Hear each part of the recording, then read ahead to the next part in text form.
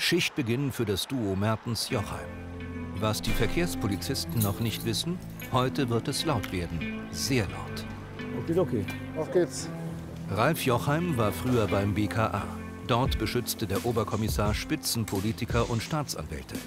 Seit acht Jahren gehört er zur Kölner Fahrradstaffel. Seinen Streifendienst verbringt inzwischen auch Markus Mertens an der frischen Luft. Vorher arbeitete der Oberkommissar bei der Autobahnpolizei.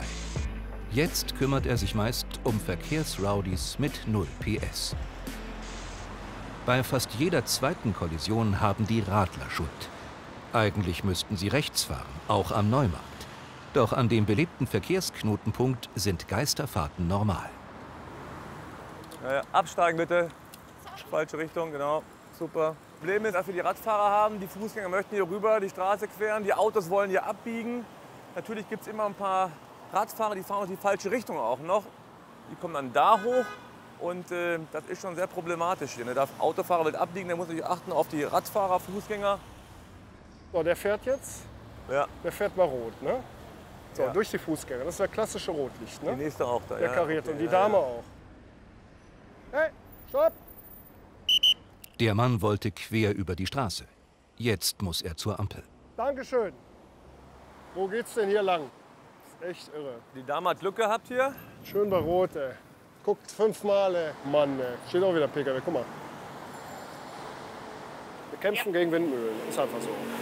Ja, und auf jeden Tag aufs Neue. Jeden Tag gleiche Szenario, gleiche Verstöße. Es ist doch saugefährlich hier vorne. ne? Mensch, passt da darüber auf. Ne? Ja, klar. Hier vorne lang rum dann hier. Ja, ja, klar. Die Autos kommen hier rumgeschossen und gehst hier rüber. Ja, stimmt. Ja. Okay? Der Platz in der Innenstadt ist auch ein beliebter Treffpunkt für Drogenabhängige, die im Rausch manchmal die Orientierung verlieren. Andere kommen ganz nüchtern vom Weg ab. Ja. Ja. Das ist nicht so gut, was sie da tun, ne? Komm Ja, von der Straße mal runter. weil über, ne, das ist ein Fußweg, da fährt man nicht mit dem Roller Komm rüber. mal von der Straße. Okay? Die Frau wollte abkürzen. Guck mal, gerade bei dem Transporter hier. Wo möchten Sie hin? Bitte? Wo möchten Sie hin? Ich möchte zum Neumarkt. Ich habe einen Termin beim Arzt. Dann machen wir das doch mal, ne? aber nicht mehr da vorne rüberfahren. Ne? Nee, mache ich nicht. Okay? Hoch und heilig versprochen. Dankeschön. Ne, das sollten Sie vielleicht mal ein bisschen sichern hier. Ne? Mal eben schnell greift man da rein, dann ist das Ding weg. Sie haben recht, aber ich glaube immer noch, Sie haben wahrscheinlich andere Erfahrungen. Haben wir. Genau, ich habe bisher noch, äh, Keine Erfahrung damit gemacht. nee, bisher glaube ich noch an das Gute im Menschen. Ja, aber, Sie haben es mir wieder bewiesen. ja, aber wir sind ja auch lieb und nett. Aber es gibt ja Leute, da stehen sie immer an der Ampel, einer kommt vorbei, zack, das Portemonnaie mal raus, Portemonnaie Dann weg. bin ich wieder bei Ihnen und heulen in die Ohren. Sehen Sie? Das war der von eben, Markus. Der dreht Runde. Guck mal, ob ich den kriege. Da ist er doch, da ist er doch. Den hast du doch schon. Fahrt mal hinterher. Gucken wir mal. Der Porsche muss an der roten Ampel warten. Kommissar Mertens kommt so richtig in Fahrt. So, hallo. Polizei, Sie fahren gleich mal hier vorne rechts ran. Okay? Sie wissen warum. Wenn Sie Probleme mit dem Gaspedal haben, dann werden wir jetzt gleich mal das Wort suchen, okay? Ich habe das letzte Jahr nur Leute wie Sie aus dem Verkehr gezogen. Und Sie wissen, was hier los ist in der Innenstadt, ne? Vorne mal ranfahren. Ja. Da vorne an der Ampel fahren Sie mal rechts rein. So. Weiter, weiter. Ralf, Da ist kein Platz. Wir können doch hier reinfahren. doch, da passt. Ja? Fahren Sie mal geradeaus, parken mal neben dem silbernen Golf da. Da haben wir Platz. So, perfekt. Alles gut, ja, ja, passt. So, Mertens ist mein Name von der Polizei Köln. Den Führerschein, Fahrzeugschein hätte ich gerne mal. Haben Sie eine Vermutung, warum sie es erwischt hat? Dürften Sie mal fahren? Ja, weil, ich einen, weil er ein bisschen zu laut war eben, glaube ich. Zu schnell kann er da. Ich wollte den einen nur umfahren. Schnell hat keiner gesprochen. Überhaupt nicht. Ja, aber ein bisschen laut, aber ist Herr Porsche, Pazin. ne? Ja, nee, das ist Ihr Fuß. Ihr rechter Fuß. Das ist Ihr Fahrzeug. Ja. Was haben Sie denn verändert am Auto? Gar nichts. Glaube ich nicht. Sportfarbe kann ich hier mit dem Knopfdruck auf und zu machen. Glaube ich nicht. Weil der Auspuff, der knallt, wenn Sie das Gas weiß, das weglegen. ist Porsche. Können Sie jeden äh, Porsche Boxer Ja. S. Was meinen Sie, wie viel Mensch Porsche- hat keinen Mengen gehabt, der genug lauter war. Was meinen Sie, wie viel Porsche wir sichergestellt haben mit einer Trefferquote von fast 100 Dann, Prozent? ist von Porsche Original, habe ich einbauen lassen von denen. Ach so. Ja. Von der Werkstatt. Von Porsche Ja, 100, ja, ihn gekauft ja, ja. habe. Machen Sie die Motorhaube mal auf, bitte. Kein Problem. Gut. Sehen Sie aber nicht viel von, ne? Der ist 100 Prozent, da äh, habe ich nichts dran gemacht. Ja. Die Felgen, Gut. so wie 55 gekauft. Euro Verwarnungsgeld. Wofür denn? Für das, was Sie gerade da vorne gemacht haben. Was ich Ihnen vorwerfe, ist nicht das zu laut, es ist. Ihre Fahrweise. Was habe ich für irgendjemand gefährdet? Ja. Wen? Sie haben die Leute belästigt da vorne. Belästigt? Reicht das nicht? Reicht das Wenn ich nicht? mit einem Ferrari durch die Innenstadt fahre, belästige ich auch die Leute. Das ist für Sie mich wissen, kein wovon wir. Aber pass auf, ganz einfach. Ja, Ich habe Ihnen die Verwarnung angeboten, Sie können ablehnen. Dann schreibe ich es auf. Dann schreibe ich es auf. das dauert ja noch länger. Ja, machen Sie einfach. Okay, EC-Karte, Kreditkarte Ich da. nicht ne? Zum Training. Gut. Dann dauert es einen kleinen Moment. Dann mache ich den Zahlschein fertig. Können Sie innerhalb von sieben Tagen überweisen. Ja, Wenn nicht, ich. kommt es zur Anzeige. Ja? Typisch Polizei, hat ein bisschen Kohle bezahlen, ne? Das ist immer so. Ich habe schon mal, ich habe schon dreimal haben die mich angehalten, seitdem ich einen Porsche habe. Jetzt, wo ich keinen Führerschein hatte, muss ich jedes Mal 10 Euro bezahlen. Und normalerweise vorher schon BMW gehabt, da war kein Problem. Aber mit Porsche musst du zahlen. Das sehen die in Deutschland genauso wie in anderen Ländern. Was ist Ihre Vermutung, warum? Keine Ahnung. Ja, wir müssen, da müsst ihr irgendwie von den ganzen Asylanten das Geld wieder reinholen, ne, was das kostet. Würde ich sagen. Ich weiß es nicht. Aber ist mir auch scheißegal. So, mein Lieber, Ja. einmal zurück. So, die 55 Euro zahlen Sie nicht dafür, dass das Auto zu laut war, sondern die 55 Euro zahlen Sie für die Einstellung in Ihrem Kopf in Verbindung mit dem Gaspedal. Ja, aber das, das ist Ich wirklich ein nicht- Argument. Ich rede gar nicht lange drum herum, weil Ja. das da unten, das Gaspedal, wie ich beschleunige in so einer Situation, wo gar kein Platz ist, die Ampel ist rot, da brauche ich nicht hochziehen. War an der, Sparkasse. Da brauche ich ne? nicht Da hochziehen. Ja, und das ist 30 im Übrigen. Ne? So, das schafft man nicht auf so einem kurzen Stück. Bin ich auch nicht Aber den. Leuten in Köln geht das Verhalten, was gerade war, auf den Sack. Ich sage das ganz deutlich, damit wir uns verstehen. Ja, okay. So, und es steht, Ihnen, es steht 55 Ihnen frei, das zu bezahlen, ja oder nein. Sollten Sie das nicht innerhalb von sieben Tagen überweisen, kommt, Kommt das zurück Post, und dann ja, schreiben wir es auf. Ich weiß. Okay? Gut. Okay. Ja, haben wir klar. Und Sie kriegen jetzt einen Platzverweis für die Innenstadt. Mit Ich diesem, muss aber jetzt ins Fahrzeug. Äh, mit diesem Fahrzeug, Auto kriegen Sie jetzt einen Platzverweis. Ja, Sehen wir Sie nochmal, wird das Auto eingeschleppt. Okay? okay. Was heißt ein Platzverweis? Sie dürfen hier nicht mehr auftauchen mit dem Ich bin Auto. aus Köln, ne? Ja, ich weiß. Und wir sind auch aus Köln. Ja, ja, was heißt, ich darf heute das Fahrzeug nicht mehr f- fahren, oder? Sie kriegen jetzt einen Platzverweis für die Für Innenstadt. Für Innenstadt, okay. Ja? ja Bis 20 Uhr. Alles okay? klar, haben wir uns verstanden, ne? Gleichfalls. Weil die anderen Leute wollen auch einen schönen Tag haben, ne? Ja? Schönen Tag. Gut, gleichfalls.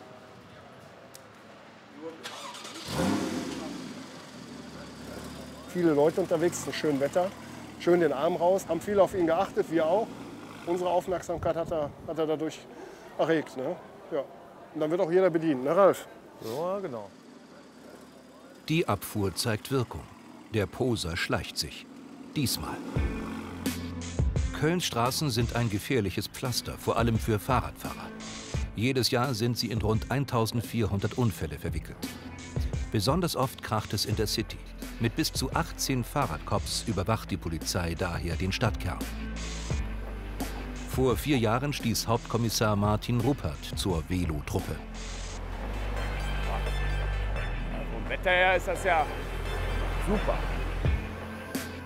Ein Radpolizist der ersten Stunde ist Hauptkommissar Christian Reiner. Seit acht Jahren wirft das Gründungsmitglied der Staffel nichts aus der Bahn. Vorsicht, ja, da ist dann nicht so gut. Das ist aber auch schlecht, ne? Das nächste Hindernis kommt von vorn. 200 Menschen werden jedes Jahr durch Geisterfahrer verletzt. Guten Tag, einmal bitte stehen bleiben. Falsche Richtung. Wollte gerade noch darüber. Tut mir leid, ja. Ja, dann machen Sie das. Ne? Alles klar. Wenn Sie von ja. oben kommen, ist es ein bisschen schwierig, weil hier ist Ja. jetzt so ziemlich hoher Bordstein. Am besten noch mal die 20 Meter zurück Alles klar. und da auf die Schienen aufpassen, bitte. Ne? Als nächstes im Visier Autofahrer oben ohne. Was willst du? So, Gurte machen, hier ist Platz genug. Ja, was hast du was gesehen? Ja, klar. Die Anschuldigungen sind nicht haltlos. Guten Tag. Einmal Gurt, zweimal Gurt, dreimal Gurt. Hier mal bitte rechts ranfahren zwischen die LKWs. Dreimal Gurt, bis auf den Fahrer alle nicht geschnallt. Fahrer ist angegurtet, alle anderen nicht. Ja, was ist denn hinten immer? Was ist denn hier los, Freunde? So, Rainer, mein Name von der Polizei Köln. Von Ihnen hier mal bitte Führerschein, Fahrzeugschein, von allen anderen bitte einen Ausweis. Ich war angeschnallt. Aber die sollen doppelt bestraft werden, für meine Meinung. Doppelt, ja gut. Dann Wirklich, wir waren angeschnallt. Wir wollten hinter diesem Auto hier packen. Ne? Und dann haben wir es abgeschnallt. weil Der Auto piepst ja, wenn man sich abschnallt. haben wir gesehen, Polizei hier, haben wir gesagt, ja okay, fahren wir ein bisschen weiter, kann man packen. Aber es ist eben wichtig für die Sicherheit, ne? weil bei den Verkehrsunfällen sind sie alle verletzt. Ja, wenn jetzt grün Fast wäre der vorbeigefahren, dann wäre nichts passiert. Dann hätten wir drei Verletzte Oder? oder vier. Und deswegen, um das halt ins Bewusstsein zu rufen, halte ich für 30 Euro für absolut erforderlich und das auch für jeden. Da mache ich gar keine, ähm, gar keine Ausnahme. Jetzt von 100 Autos, wenn Sie sehen, hinten ist fast keiner eingeschnitten. Wirklich, ist so. Nee. Also ich mache es immer grundsätzlich, das muss jeder selber wissen. Ne? Ich, ich steige ins Auto, schnall mich an, fahr los. Und dann erst abschnallt, wenn man steht, dann kann Ja, man... das ist ja ist immer die gleiche Reihenfolge, ne? So einfach ist es ja im Prinzip. Ne? Doch bei 30 Euro Verwarngeld bleibt es nicht. Die Personenüberprüfung ergibt, dass gleich drei der vier Männer Schulden bei der Stadt haben. Das hat jetzt Konsequenzen. So, okay. Beziehungsweise nicht okay. Eventuell kriegen wir gleich nochmal Besuch von der Stadt Köln. Stadt Köln. Genau. Und zwar von dem Kassen- und Steueramt. Da gibt es nämlich offene Forderungen. Aber da kommt gleich einer vorbei und machen wir gleich. Machen wir eins nach dem anderen. In diesem Fall liegen Steuerschulden vor. Es können verschiedene Sachen rein, GEZ nicht bezahlt oder äh, auch beim Finanzamt irgendwas nicht bezahlt, Autosteuer nicht bezahlt. Also all sowas ist möglich. Einmal waren es etwas über 3000, einmal nochmal 1000 und also waren jetzt einige Treffer und das lohnt sich da auf jeden Fall dann halt für die Stadt Köln, für das Kassensteueramt halt dann rauszukommen. Weil äh, das finde ich halt immer ganz gut, wenn offene Forderungen sind, dass das dann halt auch vollstreckt wird. Die Männer sollen die Forderungen an Ort und Stelle begleichen. In bar. So lange dürfen sie nicht weg. Auch in der Kölner Innenstadt könnte am Mittag fleißig abkassiert werden. Stattdessen setzen die Radpolizisten Ralf Jochheim und Markus Mertens immer wieder auf die Einsicht der Bürger. Ausgerechnet in den Parkverbotszonen am Neumarkt machen Autofahrer permanent Halt. Ermahnung statt Strafe. Ein Sisyphus-Job. So, auf geht's. Nein, geht nicht. Das ist eine Ladezone für Berechtigte, ne? Okay, sonst wenn nachher einer kommt, Geldtransporter, so müssen die alle ausweichen, ne? Gut. Verkehrsanarchie mitten in Köln. Für die Beamten schier zum Verzweifeln. Dann fahren die da rüber, dann kommen die bei Rot, dann queren die hier vorne, dann stellen die die, die Haltezone zu, hier die, die Ladezone, der parkt jetzt auch wieder da vorne zum Ein- und Aussteigen. Schön irre hier, die Stelle. Ja, guck mal, der parkt hier einfach. Der parkt hier lustigerweise.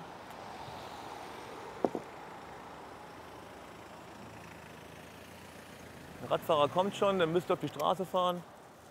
So. Schönen guten Tag.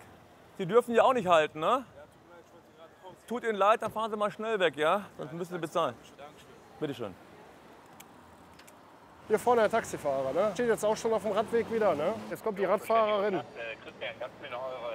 Hallo. Sie muss jetzt statt auf dem Radweg ne, auf der Straße fahren. Ne? Das sind unsere Taxifahrer. Da kann man aber auch reden. Ne, wenn wir verwarnen, sind wir die Blöden. Ne? Ich meine, das sind immer nur 30 Sekunden, 35 Sekunden, wo die da stehen, zum Ein- und Aussteigen. Aber die 35 Sekunden können dazu führen, ne, dass ein Radfahrer halt, wenn Verkehr ist, zu, zu, zu Boden fällt. Ne? Weil er im Engbereich mit Auto ne, eine Berührung hat. Da steht auch wieder einer, der guckt schon. Er steht mitten auf dem Radweg. Ne? Radfahrer müssen an ihm vorbei, alles egal. Ne? Mit dem rechten Heck komplett auf dem Radweg. Ne? Schrille Töne für renitente Fahrer. Verkehrspolizist Mertens macht seinem Ärger Luft. Das ist äh, das verlängerte Sprachrohr. Ne? Das ist extra eine Schiri-Pfeife, die die Schiedsrichter benutzen, weil die ist ein bisschen schriller. Ne? Da reagieren die meisten Leute drauf. Auch zwei Mütter irren umher.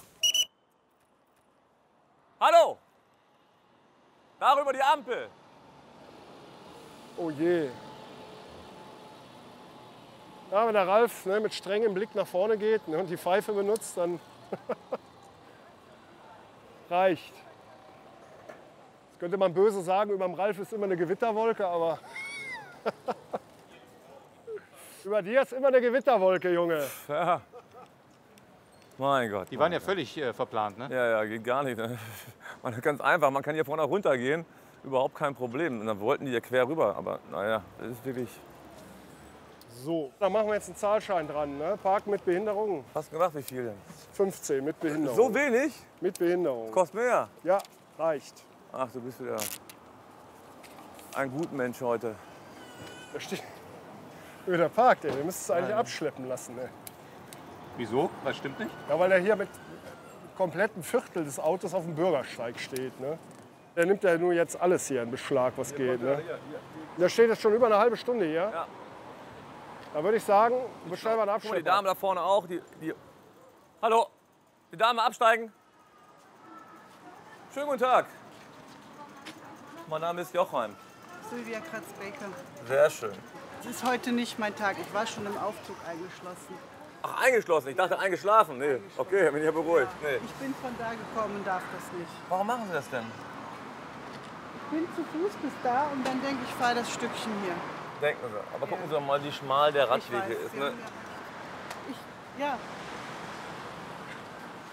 Ah, was mache ich denn mit Ihnen? Sie sind doch schon einsichtig auch noch, ne? bitte? Entschuldigung. Sie sind einsichtig, ne? Ja, wir haben ja recht. Ich will gar nicht recht haben. Wir sollten Ihr Verhalten einfach Tu ich ändern. jetzt. Nachdem Sie was bezahlt haben. Verhandeln können wir nicht. Ich habe auch keine Schokolade mehr dabei. Nein. Und Sie haben schon einen schlechten Tag heute gehabt. Scheißtag, ja. Echt? Und Sie versprechen mir wirklich das nächste Mal, das nicht zu machen. Ehrlich? Ganz ehrlich. Wirklich? Unterzeugen. Okay. Dann verwarne ich Sie mal mündlich, ausnahmsweise mal. Ne? Also wie die, gerade die Ecke hier ist, will ich Ja, nicht. nee, Sie haben ja recht. Ich weiß. Nee, Sie sehen mich und steigen dann ab. Nein. Aber hätten Sie gleich machen können. Ja. Gucken Sie, ne? Warum Ja, nicht gleich hierher ja. gehen? Ich wollte Sie mal kennenlernen. Okay, ihr wollt mich kennenlernen. Okay. Machen Sie es gut, ne? Tschö. Jochheim zeigt Herz. Sein Kollege hat währenddessen eine gefährliche Ladung entdeckt. Hallo. Das sehe ich ja gerade durch Zufall hier. Ne? Absteigen. Das sind Geisterfahrer. Ja? Runter und da zurück. Darum. Und nicht durch die Leute jetzt. Darum. Nee, jetzt dahin. So. Gucken Sie mal Ihre Flasche da. Soll ich Ihnen mal was zeigen? Das kostet 300 Euro Bußgeld. ist leer. Äh, ist sie entgast? Nein. Ja. Das stand auf dem Kopf. Die weil ist ich klar. befülle mit immer. Die ist wirklich leer. Ja. Sollen wir einen Test machen? Brauche ich keinen Test machen. Aber- Ja, die aber ganze okay. Ladung da hinten drin kostet Kohle. Ne? Was steht denn hier drauf? ist- Reinenergie. ist ein Gitter. Das hat doch damit nichts zu tun. Ladung ist so zu sichern, dass sie bei Vollbremsung nicht verrutschen kann. Ich glaube, wenn ich durch das Fenster gucke, durch Zufall jetzt gerade mal, ne? geht gar nicht. Ich äh. fahre hier vorne, Ne? mach die direkt raus. So, da vorne irgendwo rechts einen Parkplatz suchen oder ne, rausmachen oder umladen. Da taucht der Falschparker auf. So, hallo. Der Mann will weg. Aber er hat die Rechnung ohne Mertens gemacht. Das ist blöd, ne? Nehmen Sie mal direkt den Zettel hier. So, Polizei Köln, Mertens ist mein Name. Ich grüße Sie. Die standen kurz vor Abschleppen, ne? Also ich würde gerne erklären, warum ich hier gestanden habe. Äh, Können Sie gerne machen, kein Problem. Was war der Grund? Was war der Grund? Ich habe also hohe Bargeld äh, gerade eben bei der Bank eingezahlt. Über 30.000 Euro. Und heutzutage, also wir hören ja viel und deswegen wollte ich ganz nah in der Bank sein, damit da keine Überfall oder sowas passiert. Also darum geht es mehr nicht. Ich war auch bewusst, das war auch angemessen, Sie haben recht, also darf man nicht. Aber der Grund, also was ich hier bezahle, 15 15 Euro, Euro. aber dann ist das der Sicherheit viel, viel höher, also von meiner Seite aus. 30.000 Euro. Natürlich. In Bar. In Bar.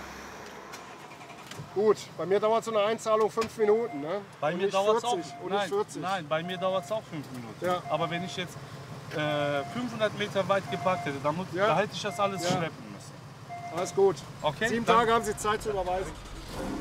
Es gibt wohl keine Ausrede, die die Polizisten noch nicht gehört haben. Beim nächsten Erklärungsversuch gibt sich Jochheim geschlagen. Schönen guten Tag, ne? Mein Name ist Jochheim. Gucken Sie da drüben, ne? Die Ampel zeigt rot und Sie marschieren komplett bei rot rüber, ne? Ja, normalerweise mag ich nicht so, aber ich muss Pipi machen. Sie müssen Pipi machen. Ja. Ja, ist, ist, Egal, ist, wo. ehrlich, ehrlich, ich mag so. Ja, ich ich will immer. Angst, immer Angst von der von, von der, von der Ampel, immer. Gehen Sie mal, gehen Sie mal schnell auf Toilette, ja, auch eine gute Ausrede. Doch der Beamte kann auch anders. Als ein Radfahrer an derselben Kreuzung über die Ampel fährt, sieht Jochheim rot. Hallo, anhalten bitte. Schönen guten Tag, mein Name ist Jochheim. ne? Also was Sie machen, geht überhaupt gar nicht, ne? Äh, gucken Sie mal, da vorne die Ampel ist knallrot. Alle stehen da. Ja, können Sie auch machen bei Grün. Aber gucken Sie mal, da, die Autos haben Grün, die fahren hier vorbei und Sie kommen dann und fahren bei Rot. Ganz klassisches Ding. Äh, sprachlos. Warum machen Sie das denn? Ich wollte hier hin. Ja, aber die Straße war frei. Ja, ja, total. und weil die frei war, da fahren Sie einfach, obwohl Ja. rot ist. Ja, ist rot, aber in diese Richtung nicht. Aber warum warten Sie davor? Sie warten erst, bestimmt zwei Minuten warten Sie vor der roten Ampel Ja. und dann fahren Sie einfach. Ist für mich nicht nachvollziehbar. Gucken Sie her, der wartet auch da vorne. So standen Sie ja auch. Die standen quasi da, standen Sie auch. Der wartet und wartet und wartet. Für die Autos, für die Richtung war grün. Von da können Sie die Ampelanlage noch gar nicht sehen, ob die grün haben. Und die waren grün. Das können Sie doch gar nicht sehen von da. Ja gut, ja, aber es war grün. Sie können es doch gar nicht sehen, ob da grün war. Wir können überprüfen, was es ist. Wir können das gerne überprüfen. Wir gehen da mal hin. Ich will, ich, ich, ich, zeigen Sie es mir. Ich will das gerne wissen von Ihnen. Sie zeigen, Nicht, dass ich gesehen habe, nur die Autos sind rübergefahren. Sagen Sie es mir. Wollen Sie nicht? Also, Sie möchten es nicht. Gut. Haben Sie aufgenommen? Herr Minkus, ja, ich habe es aufgenommen. Ich sehe schon bei Ihnen, es bringt einfach nichts mit Ihnen zu sprechen. Nein, nein. Es bringt nichts. Für mich bringt nichts, ja, mit Ihnen zu sprechen. Es kann doch nicht so schwer sein zu begreifen, dass man bei einer roten Ampel stehen bleiben muss. Da habe ich auch gestanden. Ja, und warum halte ich Sie jetzt an? Ja, weil Sie sehen, dass wir äh, quer fahren über die Straße. Und, und, warum? Weil es war rot. Ja. Rot. Die Ampelanlage gilt für Sie. Es war rot. Sie mal hier. Der geht auch einfach bei Rot hier rüber, der Herr. Ganz normal. Alle anderen warten. Das ist alles in Ordnung, ne? Den auch anhalten. Ja? Jetzt bin ich ja gerade bei Ihnen, bin ich ja gerade. Ich kann ja nicht alles machen. So, aber dieser Verstoß, ganz ehrlich, länger als eine Sekunde Rotlicht kostet 100 Euro. Vorsatztat 200 Euro. Und äh, dann kommen noch Gebühren von 28,50 Euro hinzu. Also 228,50 Euro kostet der Verkehrsverstoß. Also Sie bekommen dann Post und dann können Sie noch mal das Ganze dann noch mal bezahlen oder nicht bezahlen. Bezahlen will ich nicht. Dann geht's eh vor Gericht. Ich wünsche Ihnen trotz alledem einen schönen Tag, dass Ihnen nichts passiert. Nein, schon versagt. Also. Sie können dann weiterfahren, wenn Sie möchten. Tschö. Oh Mann. Ich möchte Ihnen eine Brücke ja auch bauen. Man könnte sagen, keine Vorsatztat und, und äh, ein bisschen günstiger machen. Aber bei ihm ist das so, das interessiert ihn anscheinend gar nicht, weil er auf sein Recht beharrt. Und äh, ja, da kann ich auch nichts mehr machen. Ne?